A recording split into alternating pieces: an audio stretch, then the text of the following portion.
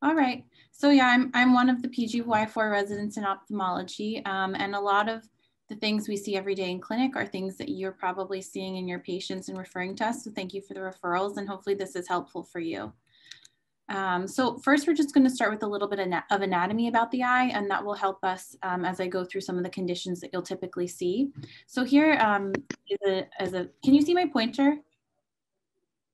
Yeah, okay. So have your eyelids here, um, upper and lower with the eyelashes. The white part of the eye is called the sclera. Then you have the iris, which is the colored part of the eye, and the pupil is that opening between the iris that goes into the back of the eye. So a couple important structures. The conjunctiva is, a, is conjunctiva um, is a very thin layer of cells that lines the front of the sclera. So it covers all of this white sclera. So it's the outermost layer of that eye. Um, and it contains glands that secrete some fluids that help lubricate the front surface of the eye in addition to lymphoid tissue. Um, so you can get lymphomas in this part of the eye. Um, oops.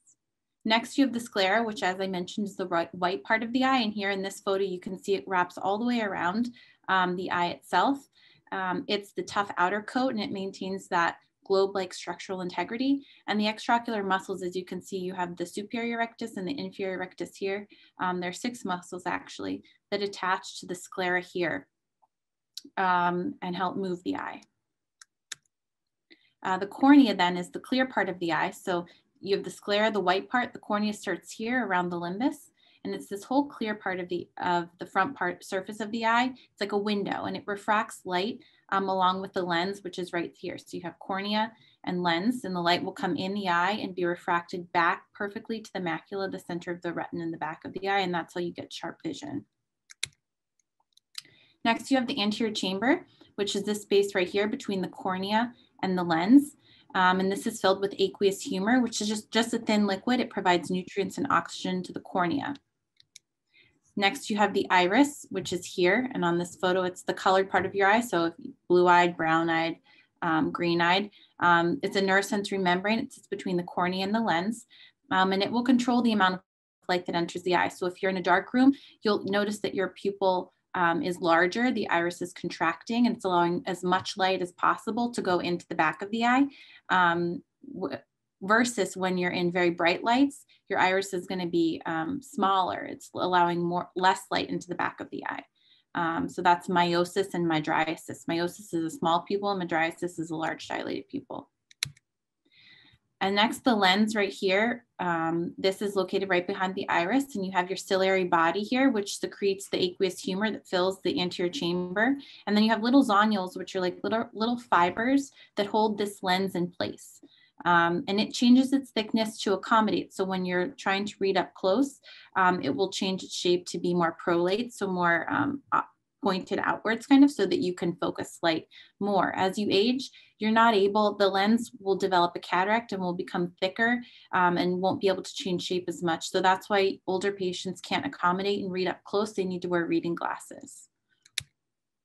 Um, so as we mentioned here, presbyopia is that diminished ability to change the focusing distance of the lens.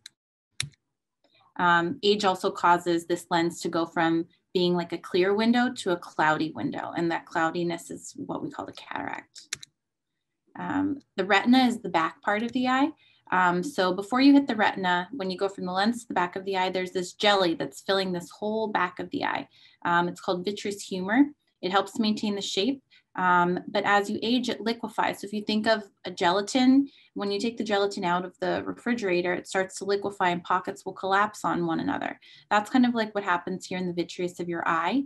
Um, so as it liquefies, that's called syneresis, and you can get a little uh, vitreous detachment from the back of the eye. That's different than retinal detachment.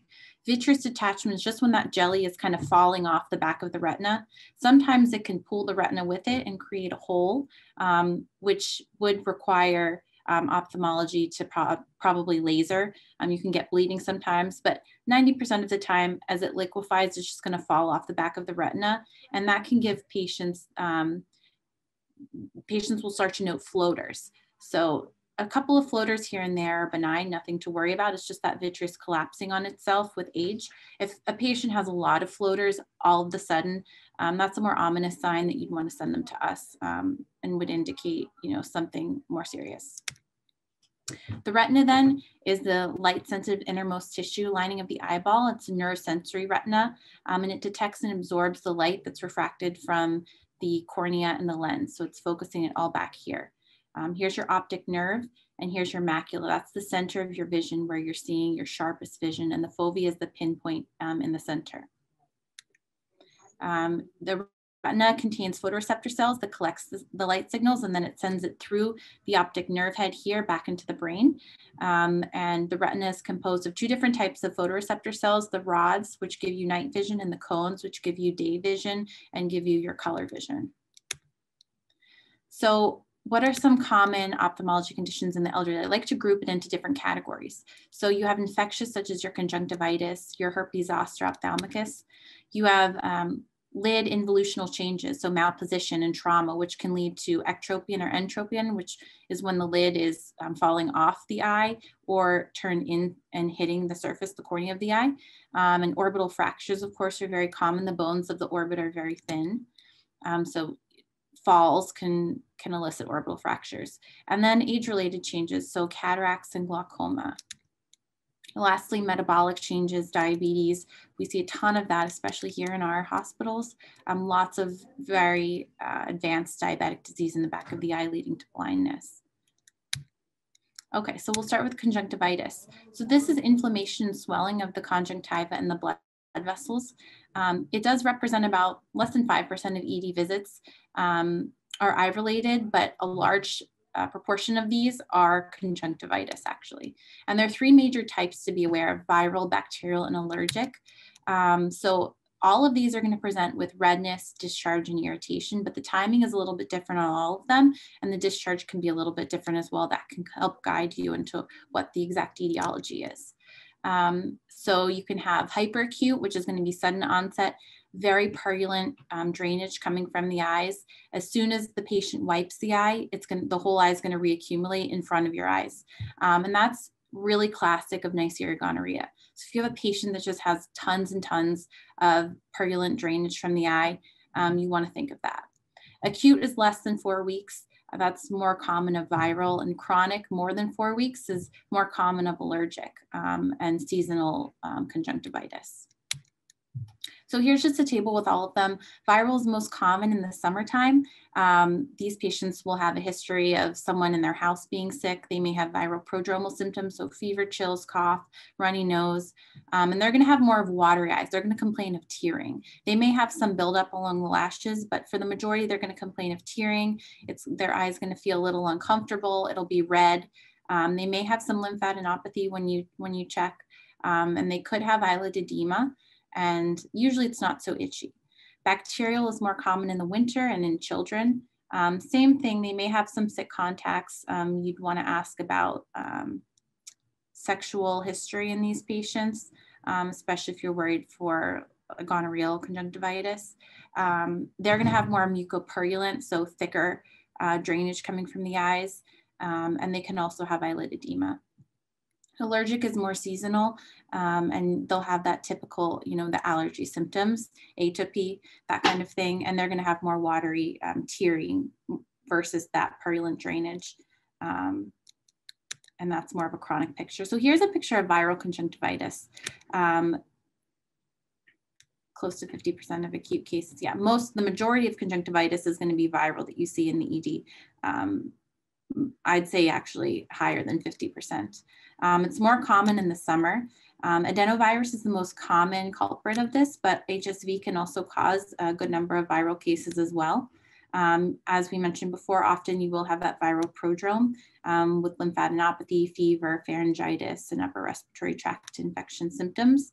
Um, you'll have more of that watery to mucoid discharge, and it will often start in one eye and progress to the other. It's extremely contagious. Um, so if a patient presents just with just one eye, um, with this viral conjunctivitis, I often tell them that in a couple of days to expect it will go to the other eye. Um, so um, hand hygiene is super important. I tell patients to wash their pillowcases, um, to not touch other people, just be very careful. Don't even touch their face, don't rub their eyes, that kind of thing. Um, adenoviruses, probably you know, can live on surfaces for quite some time.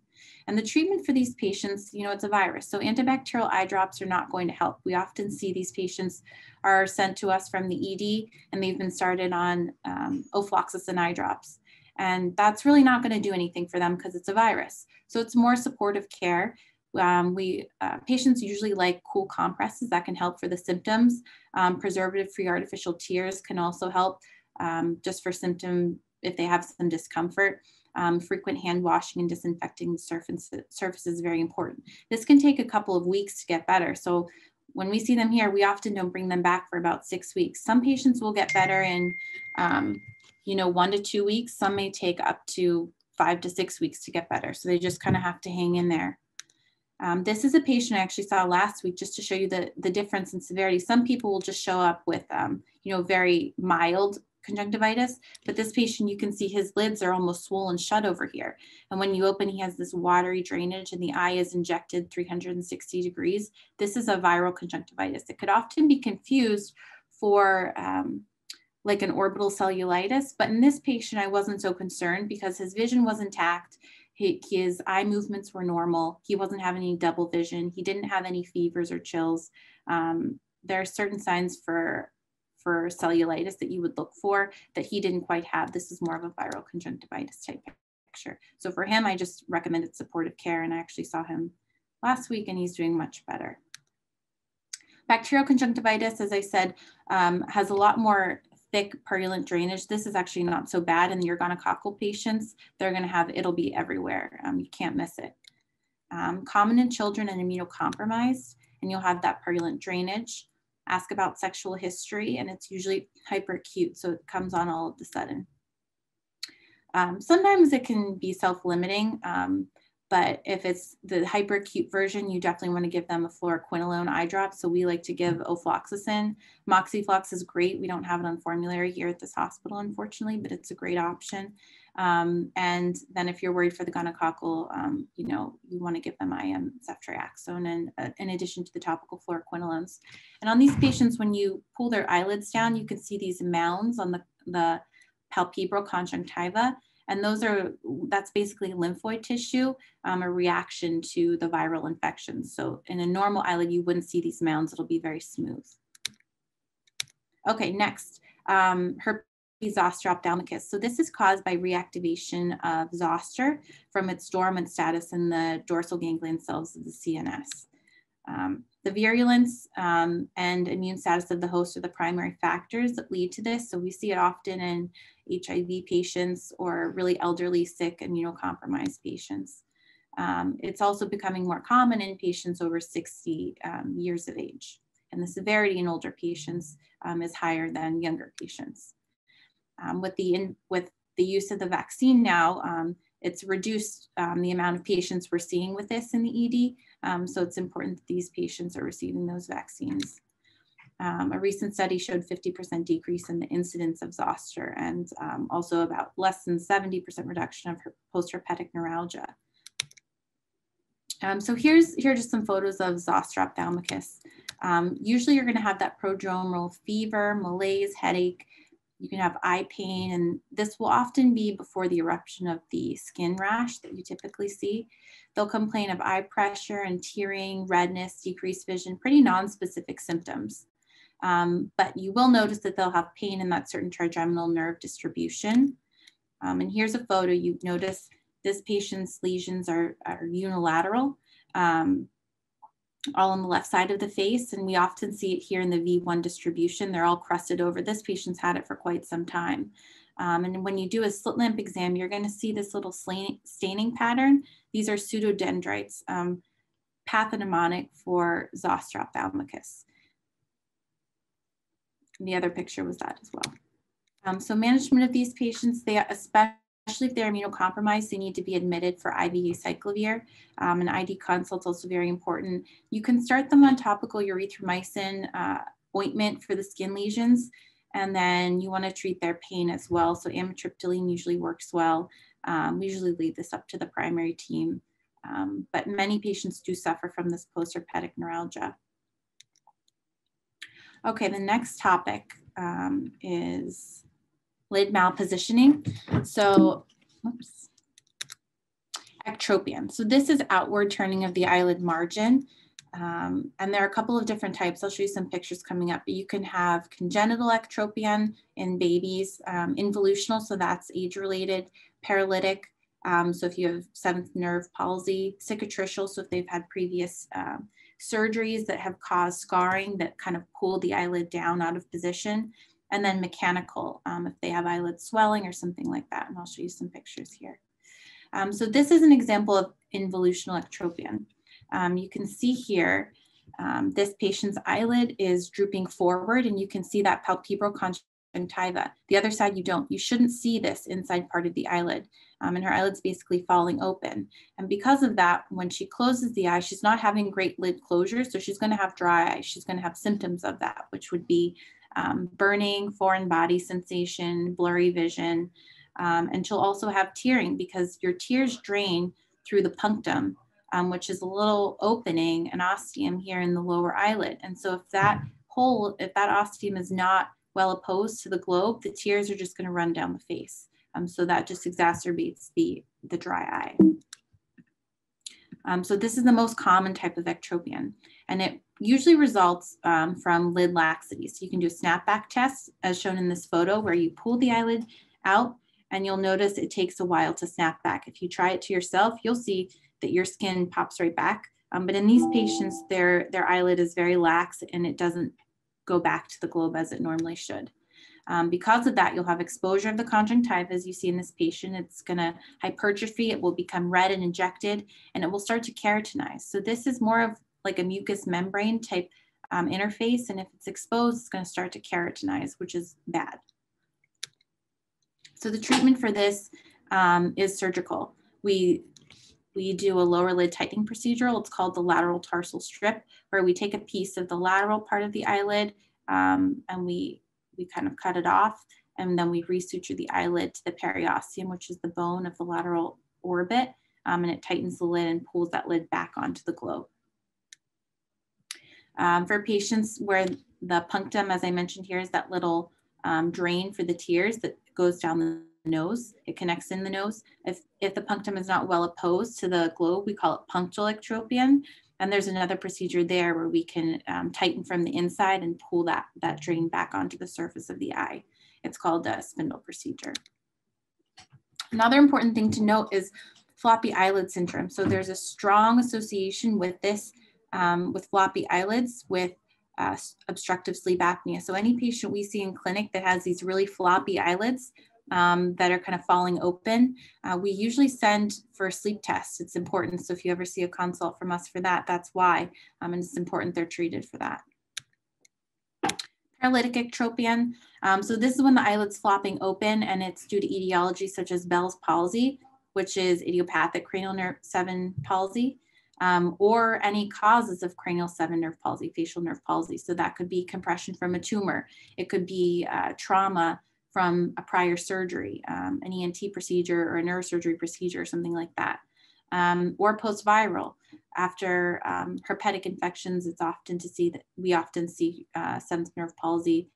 And there's actually been more um, cases of this after COVID as well, causing seventh nerve palsy. Um, so signs of this, um, you can see here, this eyelid is not closing properly, that's an. And when the patient tries to close the lid, they're unable because they're paralyzed. The seventh nerve innervates the orbicularis muscle here that closes the eyelid. So that's why you're having that droopiness. So you have lag ophthalmos. Lag ophthalmos is when you have this opening here and poor lid closure, and it's going to lead to reflex tearing. You can have inferior keratopathy, so exposure of the cornea down here leading to dryness. Um, it can get so dry that it will start to thin and you can even perforate the globe. So lag ophthalmos is nothing to sit on. You always want to send it to an ophthalmologist. Um, you can get brow ptosis. So if you look at her two brows here, her left brow is um, depressed compared to the other one. That's because the seventh cranial nerve also innervates the frontalis up here. So she's had paralysis of the, um, the upper and the lower face here. Um, you always want to check for sensation. Um, so V1 and V2 um, sensation um, can, if they have deficits in that can lead to earlier, earlier corneal decompensation um, because those nerves are responsible for sensation on the cornea. And in a normal patient, if your cornea is dry and you're not having good lid closure, it will cause you to blink more. Um, but if those nerves are out, they're not sensing that the cornea is dry and it will not tell your eyelids to blink more. So you're going to become dry, you can thin, and you can perforate again in that condition. So treatment for these patients, um, because this muscle is paralyzed, a surgery to tighten the eyelids not going to do anything. It's still not going to move. Um, so we have to be more aggressive with them. Aggressive lubrication, so ointments at night, artificial tears every two hours. You can do a temporary tarsorrhaphy, which you see in this patient, which is where we sew the, the lateral side of the eyelids closed so that you have better lid closure. And then permanent interventions would be a lower lid tightening procedure, in addition to a permanent tarsorrhaphy, which is where we permanently close, uh, suture the eye closed, or you can do an upper lid gold weight. Um, so that's when we suture in a gold weight to the upper lid, and it's basically adding um, weight that will pull the eyelid down and cover the, the cornea that's being exposed. Important to know if you ever see a patient that has a gold weight implantation in their upper lid, they can still have an MRI. It's safe to have that. Um, so this is an interesting patient I saw recently with a cranial nerve 7 palsy. Um, and what I want you to know Open your eyes, look straight at me. And now close them. Close your eyes. This eye is not closed at all. And look at all that corneal exposure. She has a hypopyon in there, which is inflammatory cells. You can see the whiteness there. This eye is drooping open. She has this mucopurulent drainage. She was extremely thin. She was at, at risk for perforating. She was actually admitted at a different hospital for a couple of months um, for COVID and, and incidentally had a lung tumor, metastatic tumor diagnosed, and she was in the ICU and, and people kind of forgot about her eyes. And we were called when she was this late stage. Um, so she was in bad shape. We, we did a temporal tarsorrhaphy on her. And you can see here when we asked her to close her eyes, okay, she can close. still see through a little medial portion here. Um, but again. the eye, the globe is much more protected with this. And this is just temporary. She subsequently had uh, definitive treatment with the gold weight that we put on top and we tightened her lower lid. So she's doing a whole lot better. This was also something that was diagnosed as a Bell's palsy initially. Um, but it turns out she had a metastatic lesion in her ear canal that was causing compression of the seventh cranial nerve. So if you ever see a patient with, um, with drooping of their face, really important to not rush and just call it a Bell's palsy to make sure you do the full workup and determine why, because that can really change your management. Okay, cool. Okay, so that's ectropion, where the eyelid's outward. You can also have in entropion, which is inward turning of the eyelid margin. And they're similar, there are a couple different types of this as well, congenital, involutional, which is with age, cicatricial, so that's scarring after surgery that can kind of pull the eyelid in from the inside, and then spastic. And the most common is involutional that we see in our older patients here in clinic.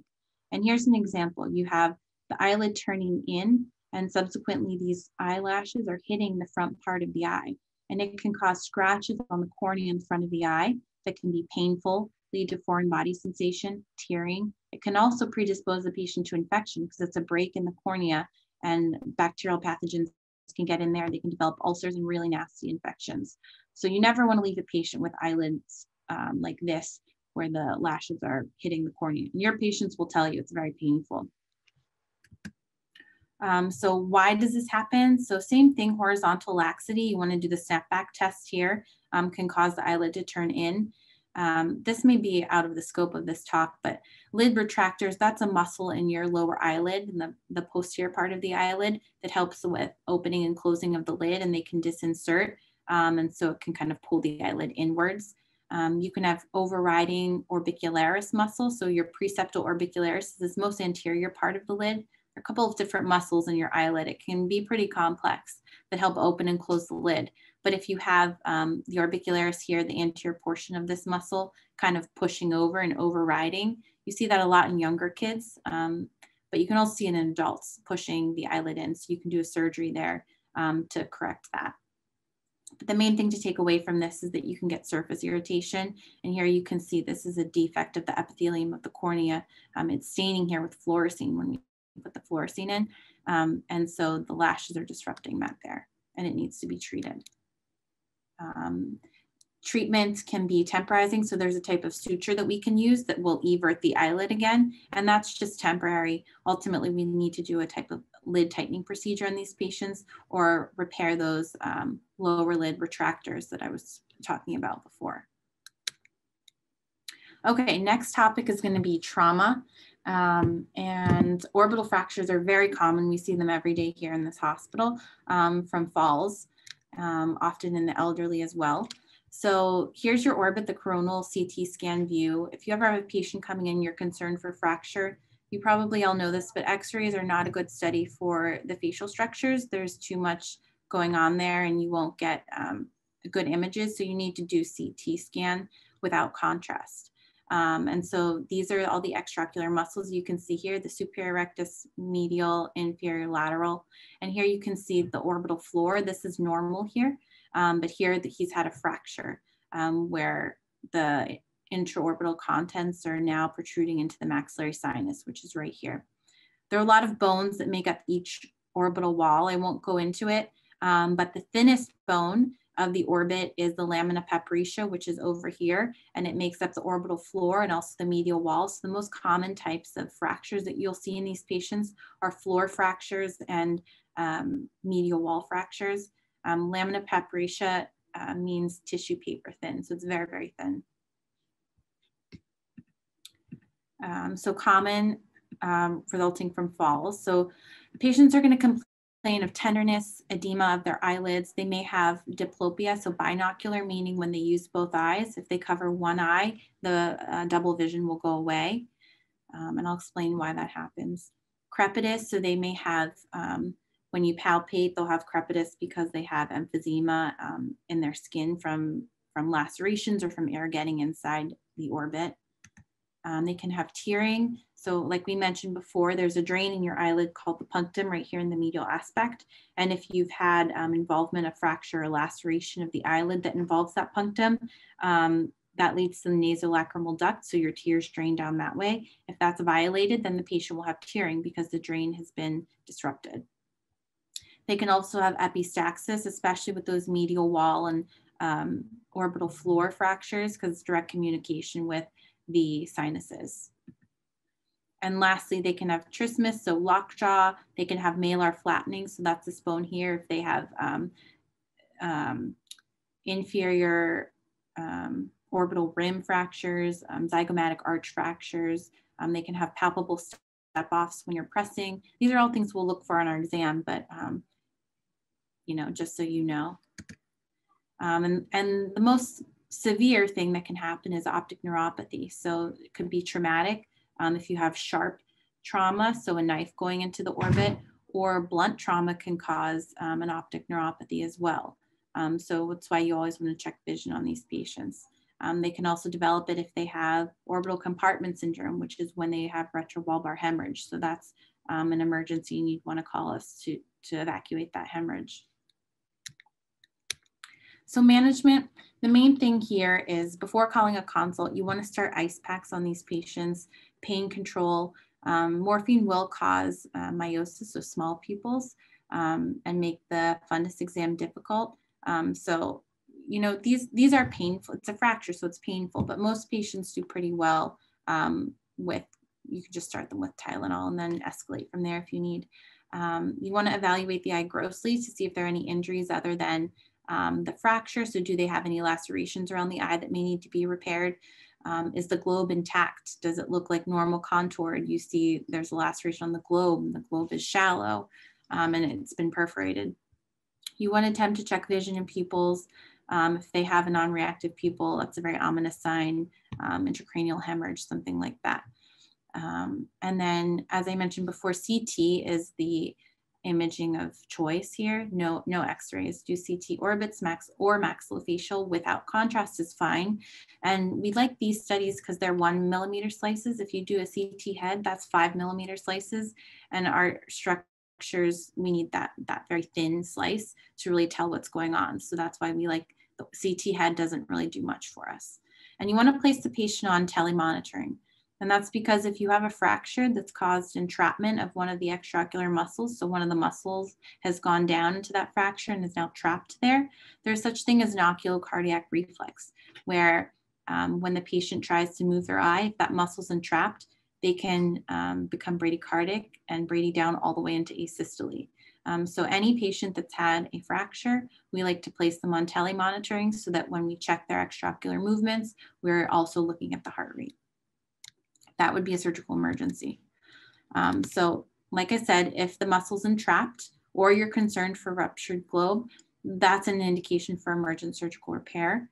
If there's no entrapment, if the muscles are moving fine, the globe is intact, um, there may still be some restriction in the movement of the eye. If there's a lot of swelling, that's okay. We sometimes give steroids to help reduce the swelling.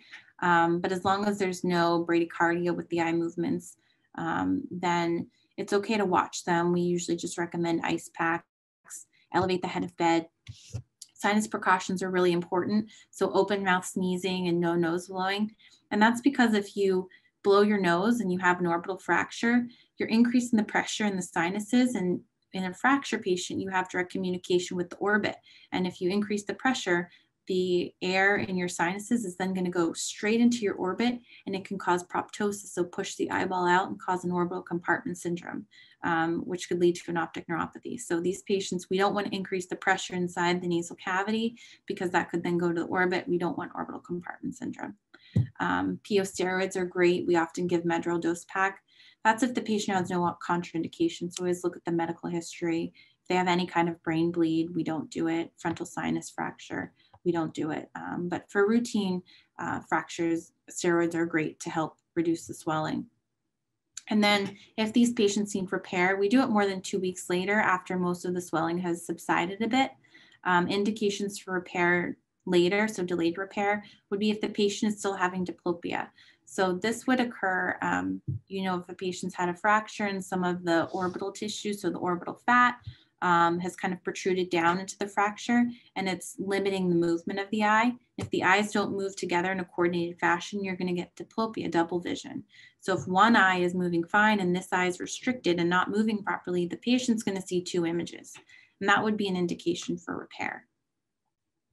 Um, our our um, journals have shown no evidence for a need for PO antibiotics. I know other facial trauma teams will recommend them.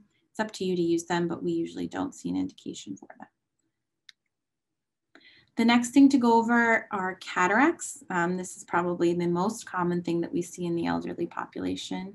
Um, there are many different types. This photo here showing a, um, a cortical cataract. Um, this is a nuclear cataract and this is a cerulean cataract, um, many different kinds. These are just three of them. Um, but a cataract is basically clouding of the natural intraocular lens um, that you saw in the photo before. And this lens is responsible for focusing the light entering the eye um, from the front and focusing it properly on the back of the eye. And it also accommodates so that it changes shape so you can see up close and at far. But as you age, you have a progressive decrease in vision um, because this lens will become cloudy. It will become more rigid and is unable to change shape. Um, and it can lead to chronic progressive decreased vision. Some patients come in and, and they're actually 2100 or 2200 or, and they don't, they haven't really noticed a change in their vision because it's happened so slowly. Um, so it doesn't cause sudden changes in vision, except in one case, in traumatic cataracts. Um, but if they're left untreated, some patients may develop such large cataracts that they will become blind. Um, but it is reversible if we take the cataract out. So that's important to know. Worldwide, cataracts are the number one cause of preventable blindness. Um, and there is no medical treatment to prevent the development. This is just simply a fact of aging. It's going to happen. Patients with diabetes or who have had trauma may develop cataracts at a faster pace than healthy individuals. Um, but there's nothing to do. You know, some patients I tell, you know, you have a cataract and they're very upset by that. Um, it's important to let them know that it's nothing they've done wrong. It's part of the normal aging process. So age-related is a common type. Um, pathogenesis is multifactorial. We actually don't really know um, it fully. They'll have progressive vision loss. Um, something to ask them is, do you have glare? A lot of them will say, you know, I'm driving at night and the bright lights are causing extreme glare. I can't see anything. That's very common of cataracts um, and night vision especially. traumatic cataracts. So this can follow any blunt injury or penetrating trauma. So patients who have been in fistfights, um, we have patients who were hit with, you know, iron rails um, or construction working, something fell on their head. Um, in a matter of a couple of days, they can develop a white, really dense cataract. So traumatic cataracts can occur very quickly. Um, metabolic, so these are your diabetic cataracts. Um, patients with other metabolic disorders such as galactosemia, Wilson's disease, and myotonic dystrophy, they can also develop certain types of cataracts. These are more chronic progressive, but you may see um, patients with these problems developing cataracts maybe in their 40s or 50s versus healthy individuals that may have them more in their 60s, 70s. Um, so management, first you want to give glasses. So if the patient has a, a smaller cataract, you can often help um, improve their vision just with glasses. That will help refract the light through that cloudy lens. But it gets to the point where the cataract is so large that glasses aren't going to help and they need surgery, which is the only definitive treatment. Um, so we remove the cloudy lens using phacoemulsification. It's a, um, a point, uh, sorry, a 2.2 millimeter wound in the cornea here that we insert little instruments through and we take the cataract out with this phacoemulsification probe, which is a type of ultrasound energy. Um, and we put a new clear intraocular lens in um, so they can see clearly through it. Um, it's very effective. Um, it's probably one of the most commonly performed procedures in America. Um, and success rates very high, 90 97% or higher when performed on appropriate patients. Um, of course, there are exceptions if patients have had multiple prior surgeries um, or other issues affecting the eye. Um, patients are generally very, very happy after the surgery. They can go from seeing 2200 one day to post-op day one seeing 2020. It's, it's very rewarding. And um, I tell my patients who have dense cataracts and poor vision, this is a good problem to have because we can fix this. It's reversible um, in contrast to things such as diabetic retinopathy or glaucoma. Uh, so, hello, can I ask you a question about cataracts? Sure. it's somewhat personal. Uh, mm-hmm. if you have an 85 year old man who has cataracts, is it better to take out the cataracts earlier than wait till he's 90 years old when there's when they're much worse and there's more risk? Do you would you can you That's answer that question? Yeah, sure. Um, you know, it's kind of patient dependent. So cataract surgery, we do look at a, a, couple of things. We look at examine the cataract itself. You want it to be the um, ripe. So you don't want it to be too small where it's very soft because that makes extraction more difficult. But you don't want it to be rock hard and white. When it's so dense like that, you have to use a lot of energy inside the eye that can lead to complications. So you want to catch it right at the perfect time. And when is that perfect time? It really varies from patient to patient. Um, so that's the first thing we look at. The second thing is how much it's bothering the patients. So some patients have a 2200 dense cataract and they're not bothered by it. I'm not going to go in and do surgery on that patient if, if they're not bothered by their vision. So it's an elective procedure. And I, I gauge my patient's motivation and how much the vision's bothering them. So in answer to that question, I think, you know, if the patient is maybe healthier when they're 80 versus 90, um, that's an important consideration. Although we do this surgery under sedation. So they don't need general anesthesia. They just get, some surgeons actually do it without sedation and it's just topical drops to numb the eye. Um, and some people do give a little bit of Versed or fentanyl and drop, um, but it's not like they're getting general anesthesia that would be um, troublesome for patients that are older that have a lot of medical problems. Um, but I think in general, it's more a gauge of, you know, what type of cataract do they have? How symptomatic are they? How motivated are they to have this surgery? Mm. um, and and i make the decision off of there. I like to operate on people that are 80 not 90 so i would prefer to do it then but it's really up to how much it's bothering the patient. Uh, one more question. Uh, what's your opinion on correcting astigmatism with the cataract lens and glaucoma? Yeah that's a hot topic. So um, there are a lot of procedures we can do for patients with astigmatism. Um, there's a new laser we can use that creates little cuts in the cornea that can um, even out the astigmatism. They're called um, limbal relaxing incisions, and those are great. That's for small amount of astigmatism, less than 1.25 diopters. For patients with higher amounts of astigmatism, we can put toric lenses in. So intraocular lenses that we put inside the eye come in all different shapes and sizes. And your standard one is a monofocal lens. So it's going to give patients great distance vision, but it won't let them accommodate up close. So they'll need to wear reading glasses. Then you have your um, bi, um, your monofocal, your trifocal lenses. So that's going to allow the patient to see at a distance and at near. Now, unfortunately, that's not covered by insurances, and those lenses cost about $2,000 a pop. So um, as a resident program here, we are given 10 of them. So some of our patients are lucky winners of these trifocal lenses and we can try them on them. But um, it is a very expensive lens, so not everyone can afford it. Um, the other type of lens is a toric lens, and that's if you have high astigmatism, and it's basically um, personalized for you for your astigmatism, so it evens it out. And similarly, that also requires an out-of-pocket charge of about 1500 to 2000 I think. Um, and as residents, we do get some to practice on, um, but that's something I do like to talk to my patients about. It is an option, um, but it comes down to, um, you know, what they can afford, unfortunately. The only thing covered by insurance companies is the monofocal regular one. Um, but there are options for patients with that um, where we can completely correct the astigmatism with the lens we put in the eye. If they can't afford it or they're not interested in it, um, we can give them glasses after the surgery that will correct the astigmatism and they'll see much better having the cataract out still. Thank you. Mm -hmm. Okay, so that takes us to glaucoma. So glaucoma is a very common condition we see. It's basically optic nerve damage or cupping of the optic disc um, that leads to visual field defects, and it's all due to um, ganglion cell loss um, in the nerve. So it's progressive. It's the most common cause of irreversible blindness worldwide. And there are a couple of different types. You have primary open angle glaucoma, angle closure glaucoma, normal tension, and secondary glaucoma. Um, and, and just to be clear, this optic nerve damage is most of the time due to elevated eye pressure.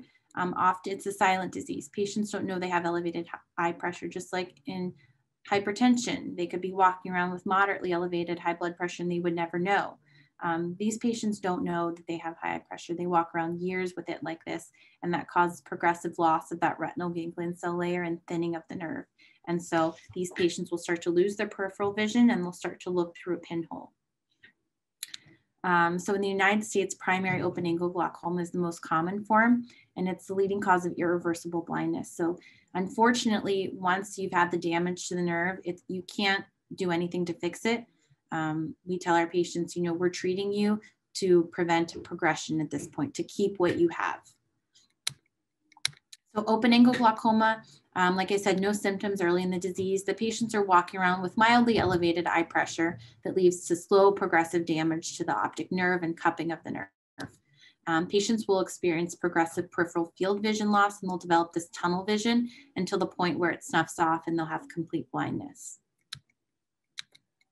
Risk factors, um, there are a couple that we found in our literature, age, older age, um, you know, just because it's more time with that elevated eye pressure, um, African-American race, positive family history, um, patients with refractive errors, so myopia means they have long eyes, they're nearsighted, um, and diabetes. And we see this all over. It's very common in our um, Afro-Caribbean population here.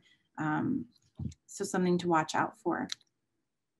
And here's just a photo. So here's a normal optic optic nerve and disc. So you have a rim of nerve tissue here, and here's your central cup, and then you have the vessels coming off. So you can kind of discern that here. We would call this like a 0.3 cup. That's normal. This is a cupped nerve. It's like a 0.9.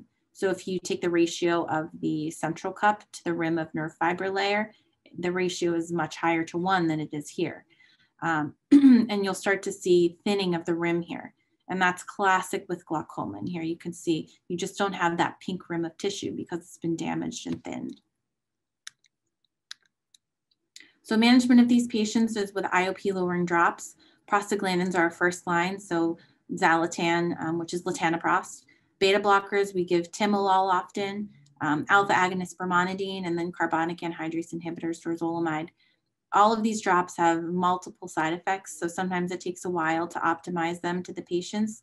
Um, but these can be a lot of drops for them to take. The prostaglandins are once a day, beta blockers are twice a day, alpha agonists are three times a day, and the carbonic anhydrase can be three times a day. So if patients have end-stage glaucoma, they may be taking drops 10 times a day. You know, you'll try to hammer into their heads the importance of being compliant with medication, but I personally don't know if I'd be able to take all those drops. So these patients with advanced glaucoma really have trouble adhering to management um, and often progress to needing surgical. Here's just a picture of all the different drops. Um, and if their pressure is still high, despite all this, we can give um, oral acetazolamide, so Diamox, um, to help them. But we can't keep them on that long because that's nephrotoxic. So if they're really refractive to all these medications, they then progress to laser treatment um, where we shoot lasers into the trabecular meshwork, which is basically the drain. Um, we try to open that up for them.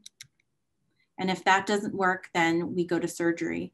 And surgery, we're putting valves in the eye. So we have a tube shunt here that leads to a valve. So you're taking aqueous humor from the, the anterior chamber of the eye and allowing another route for it to drain into the, um, the suprachoroidal space here. Uh, another question, by laser treatment, are you referring to iridotomies? Um, no, for uh, open angle glaucoma, I'm referring to SLT and ALT.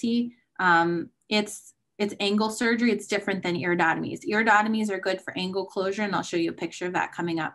Um, but this is more um, trabeculoplasty. So we're, we're dealing with the trabecular meshwork in open angle glaucoma because in that case, the angle, the drainage is open. It's just not functioning. It's not filtering properly. So by shooting the laser, we help to aid in the filtration, but it's not a, um, a problem with the angle closing. The angle is open. It's just filtration.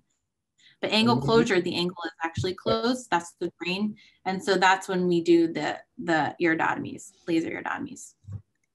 I'll show you a picture of that. So angle closure is the next type. Um, and this is higher prevalence in Inuits, so from Alaska and the Asian populations. And risk factors for this are going to be age, hyperopia. So hyperopia is small eyes. If you can imagine, if you have your eye and it's just constricted, the drains instead of being open are just going to close off more. So more common in hyperopia. Um, the, the primary mechanism here is an acute rise in the intraocular pressure secondary to pupillary block. And I'll show a picture because it's a little bit hard to um, show you. So I think it's coming up here.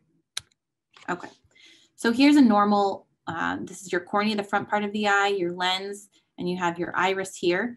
Your ciliary body is here and your zonules are holding the lens. So the ciliary body makes the aqueous humor and it um, comes from behind the iris and then comes between the iris and the lens into the anterior chamber and it drains out the trabecular meshwork here and then it goes into the suprachoroidal space here.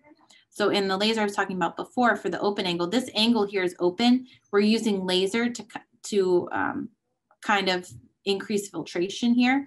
But in angle closure, um, these angles become closed. So this angle is closed, you can't reach the trabecular meshwork. This angle is closed here. The fluid from the ciliary body cannot get up through between the iris and the lens and go into the anterior chamber so you can get a pupillary block. So we can shoot a laser here that is basically a false passage in the iris that allows this fluid to escape. Um, and by breaking that pupillary block, it also opens the angle.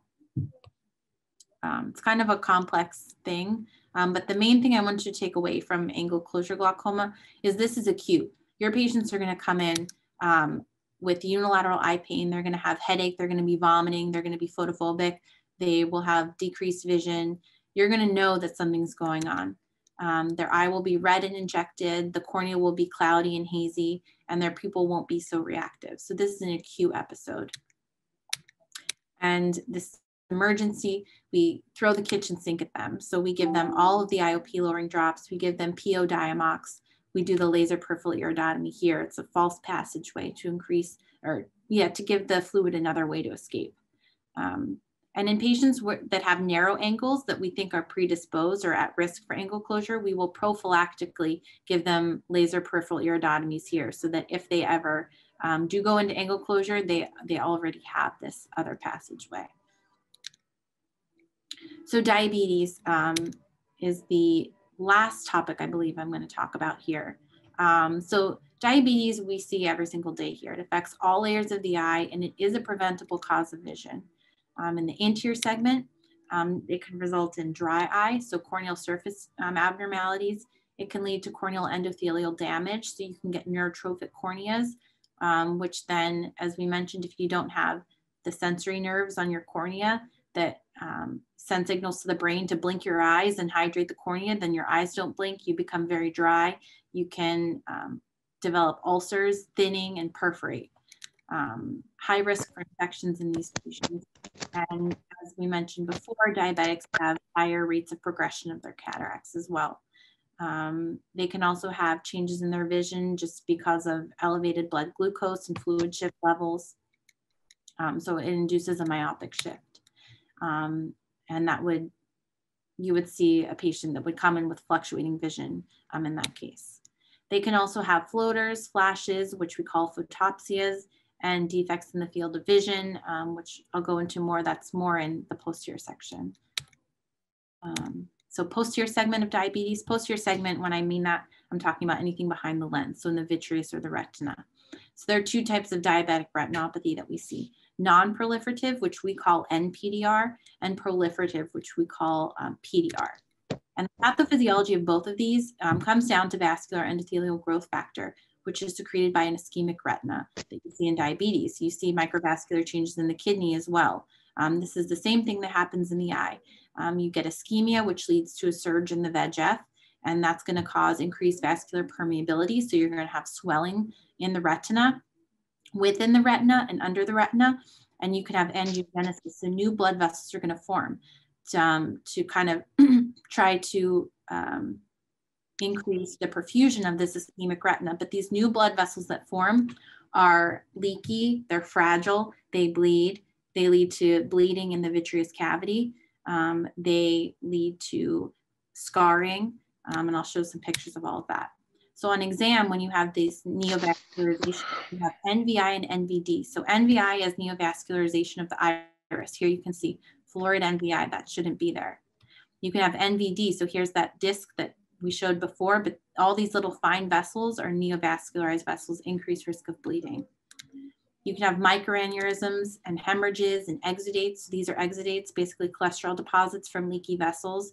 You can have all of these hemorrhages throughout the eye um, and new vessel formation, lots of microaneurysms here. Cotton wool spots are just areas of non-perfused retina. I don't really see any in this photo, but they would just be areas of whitening.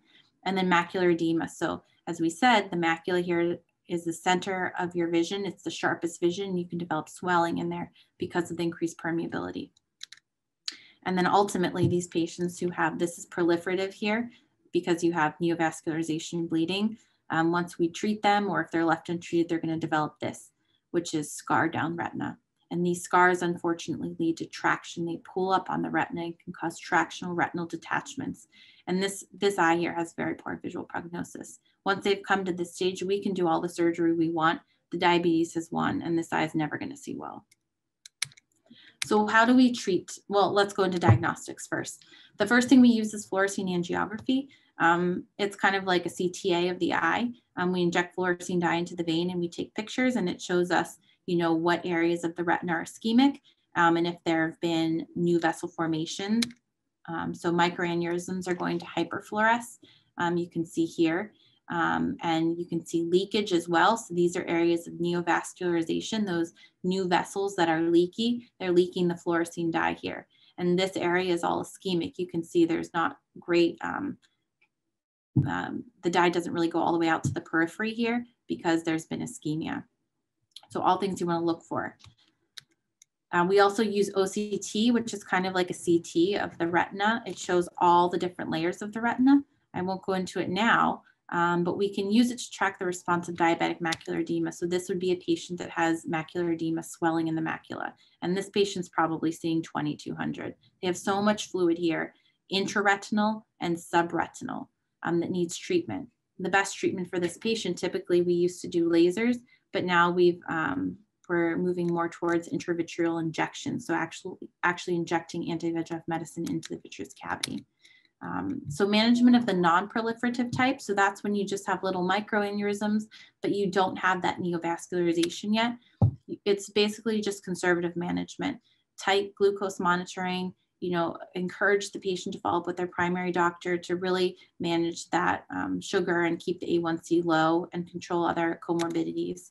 But once they've developed that PDR, the proliferative diabetic retinopathy, and they've had those new vessels forming and bleeding, then you need to move to, um, to more invasive things such as laser. So panretinal photocoagulation is when we shoot laser all the way around 360. And we're basically inducing ischemia back here. Um, we're killing off this retina here so that it doesn't sense that it's ischemic and cause new vessel formation. Um, and you can also do focal laser if you have macular edema. But like I said, um, we're now moving towards intravitreal injections where we actually inject this anti-VEGF medication. It works beautifully, but you have to inject them every month. Um, this is very expensive. These treatments uh, can be, you know, $2,000 a treatment. It's covered by most insurances, but you know, our patients don't have insurance. Um, we are in a program here where we can get them the medication they need without cost. So that's great for them. Um, but it requires the patient to come back every month. And if they miss a series of their injections, the edema is going to come back. They usually need to be treated for about 12 months of total, and then the, that edema will subside. But really, the main thing is they need to get their sugar down. We can do all these treatments, but if their sugar and A1C remains high, um, the diabetes will win this fight. And lastly, once they've developed all that scarring, like I showed in the last picture, they'll need surgery. So of a vitrectomy where we actually go in the eye with little instruments um, we make ports in the eye and we try to cut off those tractional bands um, to release traction on, that's pulling up on the retina. And we can also evacuate hemorrhages um, with surgery as well if that's obscuring the vision. So just to kind of close this talk off, um, there are a couple emergencies that you need to be aware of. Trauma, so anytime you're worried for ruptured globe, retrobulbar hemorrhage, or entrapment of muscles and fractures, you wanna call us. Infections, so neurotrophic corneal ulcers, very common in diabetics, call us. Angle closure glaucoma needs immediate treatment. Zoster with corneal involvement needs treatment. Diabetics with sudden decreased vision, flashes of light, lots of floaters that could indicate a tractional retinal detachment or um, bleeding in the back of the eye, you need to send to us immediately. Um, things that are okay to follow up in clinic, diabetics with chronic poor vision, it could be due to cataracts, it could be chronic macular edema. They can follow up with us regularly and we'll take care of them. Um, and then lid malposition, very, very common. Um, they are not an emergency unless they're leading to severe corneal exposure, like I showed you in that cranial nerve 7 patient, the facial nerve palsy patient, where she was, her eyeball had no protection and was at risk for perforating and very thin. Otherwise, general ectropion and entropion can be fixed with surgery in a minor's procedure room um, at any time. And that's it. This is just a picture of some of my co-residents. If you guys have any questions for me, I'm happy to answer.